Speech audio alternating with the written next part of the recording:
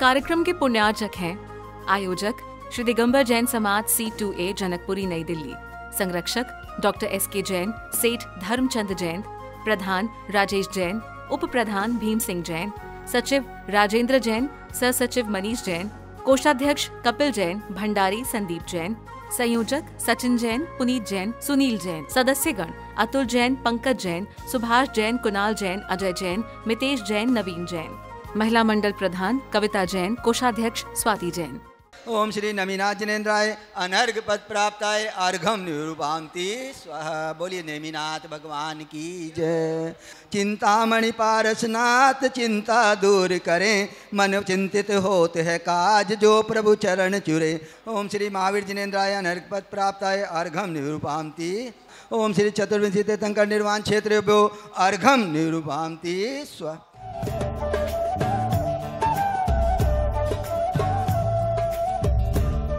भक्तांबर स्रोत्र रचिता मान तुंग जी को ध्याते हैं। सौभाग्य सागर जंग सभी भक्त जन मंगल भावना भाते हैं।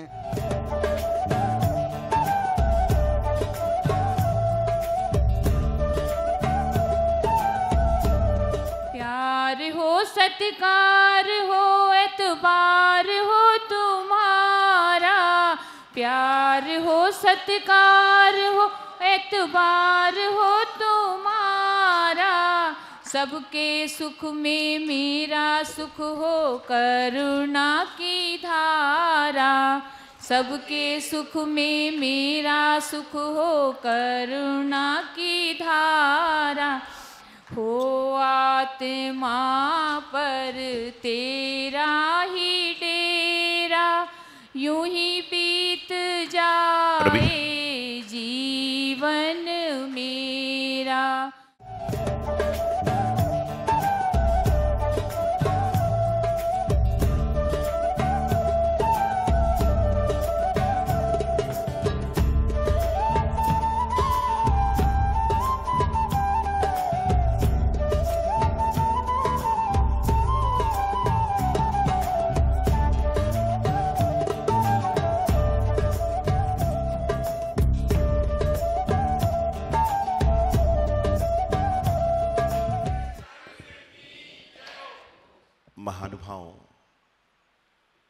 आज से प्रवचनमाला का शुभारंभ हो रहा है।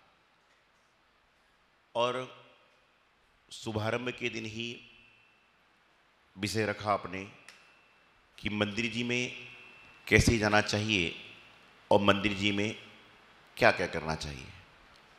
निश्चित रूप से पहले दिन का विषय ही मंदिर का क्यों रखा? क्योंकि सबसे पहले यदि इंसान जन्म के बाद कहीं जाता है तो वह जिन मंदिर ही होता है। कोई भी संप्रदाय में जन्म ले व्यक्ति, चाहे जैन हो, चाहे किसी भी धर्म में हो, सबसे पहले जन्म लेने के बाद इंसान कहाँ पर जाता है? जिनकी वह आराधना करता है, जिनकी पूजा करता है। कभी भी ध्यान रखना, आज वर्तमान में आदमी कितना भी सांस्कृतिक छोड़कर, सांस्कृतिक को छोड़कर, प्रकृति को छोड़कर विकृति में जी रहा हो, लेकिन सबसे पहले बच्चा जाता है तो मंदिर जाता है। कभी भी कोई भी माँ अपने 40 दिन के बच्चे को लेकर फिल्मी थिएटर नहीं गई। कभी भी कोई माँ अपने 40 दिन के बच्चे को लेकर शादी में नहीं गई। कभी भी कोई माँ अपने 40 दिन के बच्चे को लेकर किट्टी पार्टी में नहीं गई। कभी भी कोई पिता अपने 40 दिन के बच्चे को लेकर अपने फ्रेंडों से मिलने नहीं गया।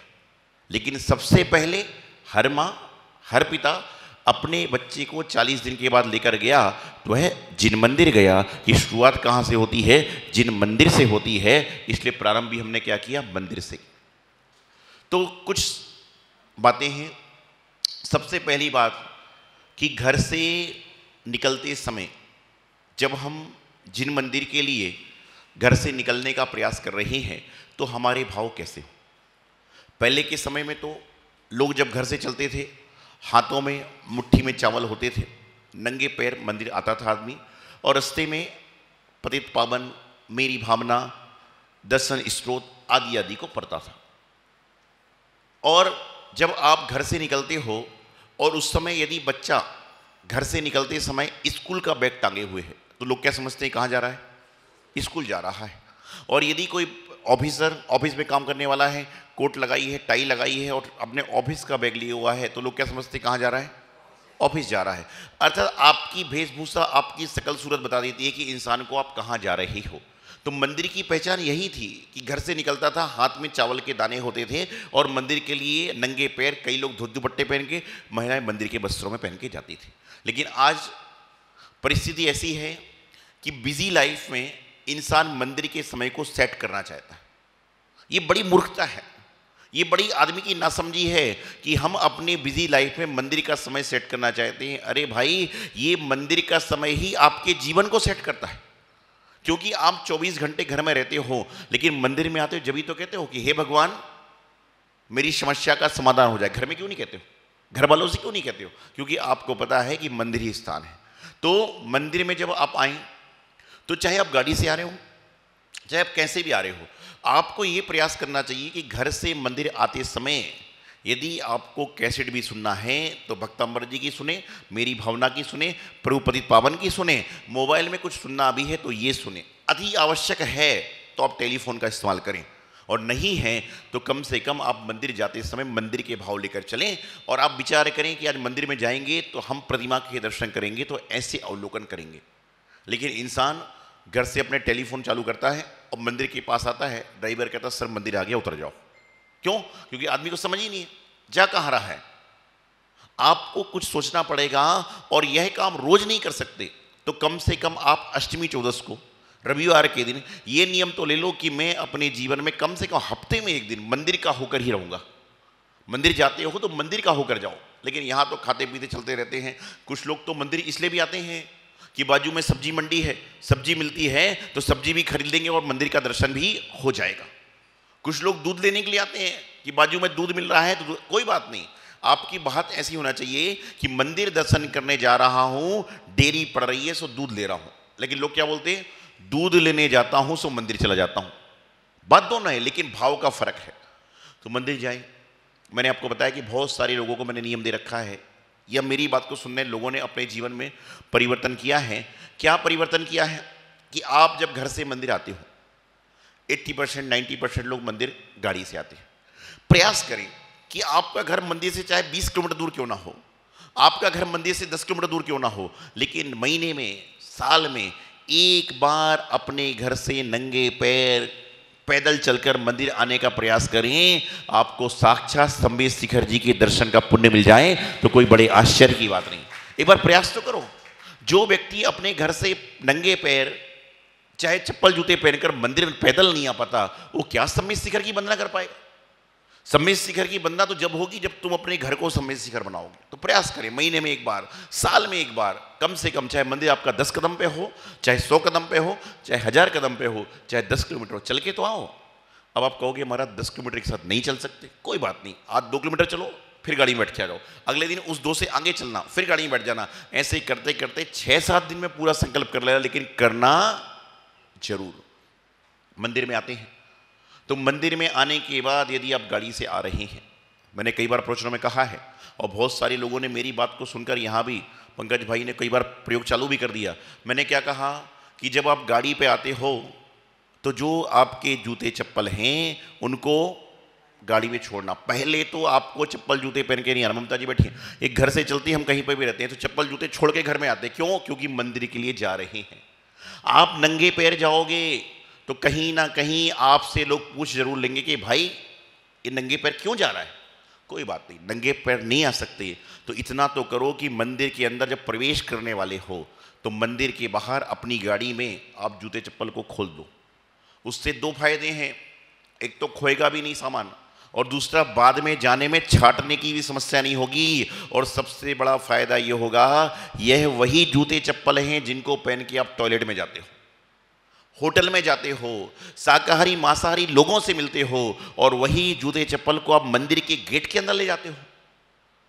मंदिर के गेट के अंदर बाहर तक लाते हो ना, मंदिर का परिसर हो गया और उस परिसर को आप क्या कर रहे हो, जाने अनजाने में अशुद्ध कर रहे वैसे मंदिर में तीन द्वार होते हैं। कितने द्वार होते हैं? तीन द्वार होते हैं। कौन कौन से तीन द्वार होते हैं? एक होता है प्रवेश द्वार। दूसरा होता है मुख्य द्वार और तीसरा होता है गर्भगृह का द्वार। कौन कौन सा? एक होता है प्रवेश द्वार। आपको मैं कैसे समझाऊं? तिजारा जी का समझ लीजिए। तिजारा जी मुझे ज्ञान में है, संज्ञान में है कि तिजारे जी का जो मेन गेट है मानिस्तम के सामने, वो क्या है? प्रवेश द्वार है। वहाँ पर जैनी क्या, कर्मचारी क्या, सफ़ाई वाला क्या, हर कोई पहुँच जाता है। कोई रोक टोक नहीं है। तो प्रवेश द्वार तो प्रवेश के लिए होता है कि हर कोई वहाँ पर पहुँच जाता है। उसके बाद में होता है मुख्य द्वार, जो मानी स्तंभ के सामने बना हुआ है, जहाँ से भगवान जी दिखते हुए क्या होता है? मुख्य द्वार होता है। वहाँ पर आदमी कैसे जाता है? कुल्ला करके, जूते चप्पल को खोलकर, बेल्ट को खोलकर, चमड़े की वस्तु को रखकर, इन सबको करते हो, लेकिन आपको एक बात कहना चाहता हूँ कि जो मेरे भाई बीड़ी सिगरेट तंबाकू पीते हैं, लेकिन उनके पैकेट में तंबाकू की पुड़िया रखी रहती है, और वह मंदिर चले जाते हैं। जूते उतार रहे हो, मोजे उतार रहे हो। कई बार करते हैं ना, लोग नमुस्तु करते हैं, सिगरेट का बंडल बाहर निकल जाता है। होता है, ऊपर वाली जिम में जो भी रहेगा वो नीचे गिरता ही है। ऐसा मैंने कई बार देखा है कि आदमी झुकता है और अंदर से बड़ी निकल रही है। तंबाकू का पैकेट निकल रहा है। और आजकल लोग जब कुर्ते पहनते ना तो जैसे नोट दिखते ना तो तंबाकू का पाउच भी दिखता है। तो वहाँ पर क्या करते कि तंबाकू का पाउच भी होता है, पहले तो मंदिर जाओ, जब लेकर जाना ही नहीं और जा भी रहे हो तो जहाँ जूते चप्पल खोल रहे हो तो मुझे लगता था दौर की बात चल रही है कि पहला प्रवेश द्वार, कि वहाँ से हर कोई एंट्री करता है। सफ़ाई करने वाला भी, भोजन बनाने वाला भी, झाड़ू लगाने वाला भी, सब कोई। वो सबके लिए जीप भी प्रवेश करते हैं। घोड़ा भी आ रहा है तो घोड़ा भी प्रवेश कर सकता है। दूसरा है प्रवेश द्वार, मुख्य द्वार। कि मुख्य द्वार कौन सा होता है? जो भगवान जी की बेदी के सामने होता है कि वहाँ पर पैंट शर्ट में भी जा सकता है आदमी। गलती से लिपस्टिक, नेल पॉलिश लगा के आए तो भी चला जाए। भाव अशुद्ध है तो भी चला जाए। लेकिन जो गर्भ द्वार होता है, जो तिजारा जी गर्भ द्वार है, उसके अंदर प्रवेश कौन करता है? जो धोती दुपट्टे पहनकर, यदि कहीं मंदिरों में महिलाओं की व्यवस्था है तो महिलाएँ शुद्ध वस्त्र पहनकर वहाँ पर पहुँचती हैं। ये तीन द्वार मंदिर के होते हैं। लेकिन वर्तमान में मंदिरों में है ही नहीं व्यवस्था। तो जो मुख्य द्वार है प्रवेश द्वार है, उसको ही मुख्य द्वार मानते हैं। तो प्रत्येक व्यक्ति को ये चाहिए कि कम से कम हम नंगे पैर नहीं आ रहे कोई बात नहीं। लेकिन चप्पल जूते को हम क्या करें, अपनी गाड़ी में छोड़ दें, जिससे क्या होगा, एक तो खोने का डर नहीं, छाटने का डर नहीं, और मंदिर में कम से कम अशुद्धि तो नहीं आएगी। जो अशुद्धि टॉयलेट में जा रही है लेटरिन में जा रही है, भोजन पानी में जा रही है, सब जगह जा रही है, वह अशुद्धि कम से कम मंदिर में आपके माध्यम से तो नहीं आएगी। मेरे बोलने से हज़ारों लोग सुनते हैं, यदि दो लोग भी अमल करते हैं तो मेरा बोलना सार्थक है कि दो लोग की गंदगी तो कम से कम साफ़ होगी और दो को देखकर बीस होंगे। और एक बात ध्यान रखना, आज जो आप करते हो, उसका असर सब लोगों पर पड़ता है। और यदि कोई प्रतिष्ठित व्यक्ति वो कार्य करता है तो सारे लोग उसको अपनाने का कार्य करते हैं। तो जूते चप्पल को आप उतारिए। उसके बाद में क्या करते हैं, मंदिर में आने के बाद सबसे पहले आप क्या करते हैं? जूते, मोजे, चप्पल उतार के क्या करते हो आप? पैर को धोते हो, हाथ को धोते हो। कैसे पानी से? कैसे पानी से? छने हुए पानी से। पानी की व्यवस्था बाद में बताऊँगा, नहीं तो एक टॉपिक में एक एक घंटा लग जाएगा अभी। तो क्या है? छने हुए पानी से। कभी जो छन्ना पानी में लगा हुआ है, टंकी रखी हुई होती है, कभी आपने टंकी का ढक्कन उठाकर देखा? कभी उठाकर देखना। आप कभी तो टंकी का ढक्कन उठाकर देखो, टंकी का ढक्कन उठाकर देखोगे तो लगेगा कि भैया ये पानी कैसा है? क्यों? आपने तो नल खोला, पैर को धोया और चल पड़े। तो जब आप अपने पैरों को धोते हो तो पैर को धोते समय कहाँ दिखना चाहिए? ऊपर की नीचे? नीचे। क्यों? यदि कोई चीटी चल रही हो, चीटा चल रहा हो, जीव हो तो उसकी हिंसा भी पैर धोने के कारण ना हो। जैसे ही आप नीचे पैरों को देखते हो तो कितने पैरों को देखते हो? कई तरह से लोग पैर धोते कई तरह से एक नल चालू करके एक पैर ऐसा लगता है आदमी, फिर एक रखता है। लेकिन जो सात्विक रूप से करता है, वह पैरों को दोनों पैरों को देखेगा और उस पर जल डालेगा। तो जल डालते हो तो उस समय आपका भाव क्या होता है कि मेरे दोनों पैरों को हम स्वच्छ कर लें। तो जो दोनों पैर हैं, जब आप उनकी ओर देखते हो या आपकी ओर देखते हैं तो दोनों पैर आपसे कहते हैं कि जिस तरह से, जिस तरह से तुमने मुझे धो लिया, कब तक के लिए धोया? जब तक आप मंदिर में हो और जैसे ही बाहर निकलोगे, वापस आपके पैर अशुद्ध हो जाएँगे। जिस तरह से आपने मुझे अपने दोनों पैरों को धो लिया, उसी तरह से पैर आपसे मुख भाषा में कहते हैं कि जब तक मंदिर में रहो, जब तक जैसे जूते चप्पल को बाहर छोड़ा है, अपने पैरों के दोनों पैरों की गंदगी को बाहर छोड़ा है, तब तक अपने मंदिर के अंदर रहो। जब तक अंतरंग परिणाम में जो राग देश चल रहे हैं, उनको भी गेट के बाहर छोड़कर जाना, राग देश को लेकर ऊपर मत जाना। लेकिन हम लोग क्या करते हैं? तन को भी शुद्ध कर लिया, काया को भी शुद्ध कर ली, वचन को भी शुद्ध कर लिया, लेकिन मन को शुद्ध नहीं बना पाते, इसलिए तो परेशान हो। मंदिर के अंदर आओ तो राग देश छोड़ दो। यहाँ पर तो ये देखो कि भगवान महावीर स्वामी, जिनकी बेदी के नीचे चिन्ह है, क्या चिन्ह है? शेर और गाय एक साथ पानी पी रहे हैं। अर्थात भगवान महावीर स्वामी के समोषण में जब भगवान महावीर स्वामी तपस्या करते थे तो वहाँ पर शेर और गाय बैठकर एक साथ पानी पी सकते थे। तो आप शेर गाय तो नहीं हो।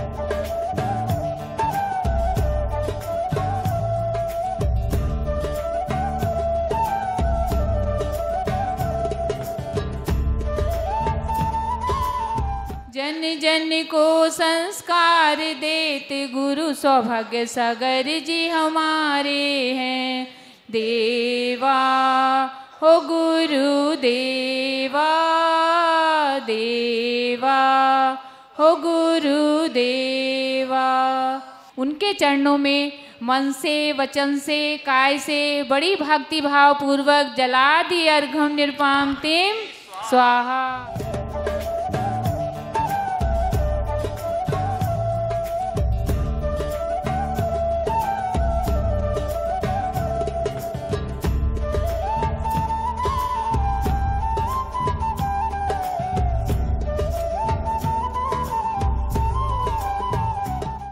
कार्यक्रम के पुण्यार्चक हैं आयोजक श्री दिगंबर जैन समाज सी टू ए जनकपुरी, नई दिल्ली। संरक्षक डॉक्टर एस के जैन, सेठ धर्मचंद जैन, प्रधान राजेश जैन उप प्रधान भीम सिंह जैन, सचिव राजेंद्र जैन सह सचिव मनीष जैन, कोषाध्यक्ष कपिल जैन, भंडारी संदीप जैन, संयोजक सचिन जैन, पुनीत जैन, सुनील जैन, सदस्यगण अतुल जैन, पंकज जैन, सुभाष जैन, कुणाल जैन, अजय जैन, मितेश जैन, नवीन जैन। महिला मंडल प्रधान कविता जैन कोषाध्यक्ष स्वाति जैन।